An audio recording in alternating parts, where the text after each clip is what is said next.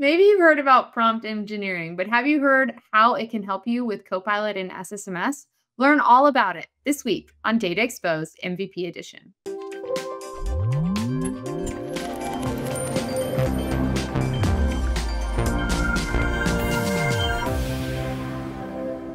Hi, I'm Anna Hoffman, and welcome to this episode of Data Exposed MVP Edition. Today, I'm joined by Reitze, who is an MVP in the community. And before we get started, can you tell us a little bit about what you do? Yeah, so my name is Reitze. Uh, I'm working for a company called Actians, and the most things I do uh, is helping customers get the most out of their data platform, whether it's SQL Server, whether it's Microsoft Fabric, or uh, the Azure Stack. Okay, awesome. That's great. You're a great person to have on the show, especially when we're talking about Copilot in SSMS. And I know there's been a lot of buzz, of course, across the world about copilots and and using these prompting things to get better results at whatever it is that you're doing. Um, but specifically, I think today you're going to walk us through how to do it with SQL and maybe Azure SQL. And so, yeah, I, I would love to learn more. Let's get right into it. Thanks so much, Anna. So before we getting started, uh, let me set a little bit of the context and uh, uh what we're talking about today. So first, I'm going to use two databases called MVP Demo 1 and MVP Demo 2. And those databases were created by Copilot. So I just asked Copilot, create a database for me or two databases for me with some tables, uh, some columns, and a little bit of data, 10 rows for each database, just to get a basis to work from. I didn't have to create uh, write all the create scripts. Copilot did it for me. All I had to do was run the code and be done with it. So the second thing I want to emphasize is that writing the correct prompts is a skill. You need to keep going at it, keep doing it, hone your skill, and creating small databases like this ones, these ones, really helps you in honing that skill because there's a little bit of data in there, so it's very easy to check if the results are correct and you can learn to create the better prompts. So let me try the first one because I'm interested um, in sales revenue. So I'm gonna use this prompt where I'm gonna ask Copilot using MVP Demo 1 and MVP Demo 2, what are the sales over uh, 2024 and 2025?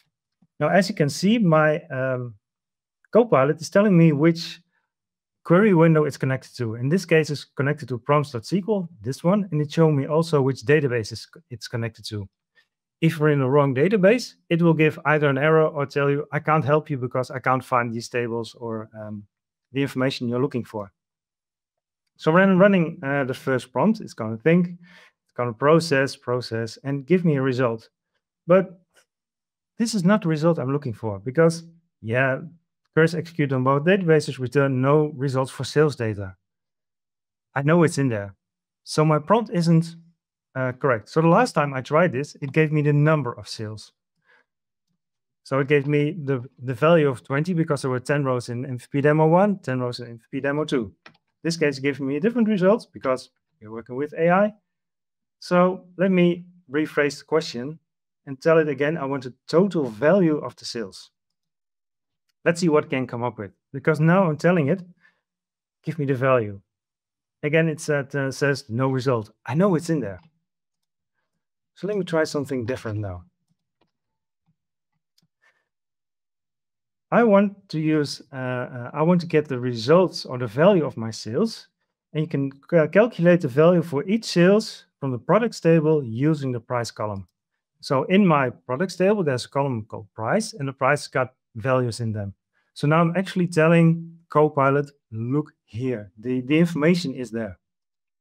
So when I'm going to run this one, it can start thinking again, getting column definitions, sales, and all of a sudden you can see values coming up. This is what I was looking for, almost. Because I wanted a query as well. So what, what I'm going to do now is see if I can get Copilot to create a query for me that will do cross-database querying. Because now I've got a result right here, but this is not really something I can present to management or whoever uh, is interested in the information. So I'm going to run, uh, use this query, and it says write a query to calculate the total sales value across MVP Demo 2, 1 and MVP Demo 2 for 2024 and 2025. Now there's a little bit of a disclaimer here. Let me start it and let me tell you what the disclaimer is. I didn't write the prompt. What I did is ask Copilot, write me a prompt that will give me this result. So I'm asking Copilot, what would be the prompt that would return to me the information that I'm looking for? So I don't have to think about this myself.